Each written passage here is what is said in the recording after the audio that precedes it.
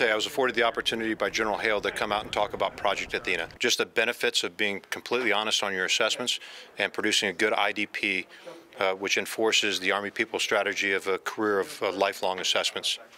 And Project Athena is a self-based assessment, a battery of assessments that give us insight into our developmental needs, our strengths, and through the Leader 180 and Leader 360 into our blind spots.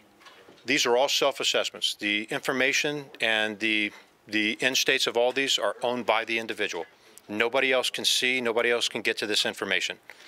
So what it does is it provides that individual based off of knowledge, skills, and attributes, or knowledge, skills, and behaviors of at grade and echelon of what we think an individual needs to be capable of doing and possessing to be successful.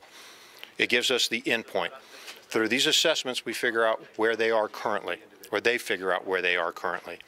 And then through multitudes of tools that we have and resources, we start to close those weaknesses, we reinforce their strengths, and we identify some blind spots that they need to be aware of, of how they interact uh, and how they get the results uh, that they, they're required to get. Right now, it's, it's instituted in all cohorts. We are FOC, fully operational capable, in our BOLCs, in our triple Cs, CGSOC, which is the majors education, intermediate level education, is uh, initial operating capable. So they started this month uh, taking these assessments. Our NCOs at the BLC and ALC, Advanced Leader Basic and Advanced Leader Education, at their initial operating capability. So they've started taking them. Our warrant officers have started taking them, and our civilians will start taking them in July. This is all about the individual. This information is owned by them. It's CAC enabled on the Army Enterprise Assessment Server. Uh, there is no reason to be scared uh, to share this information with your counselor. This is all about the individual being as good as they need to be to lead our soldiers. I'm not going to lie, I was a little skeptical at first when we were taking these tests. Wasn't a lot of information about them. Uh, I'm sure most of my class felt the same way.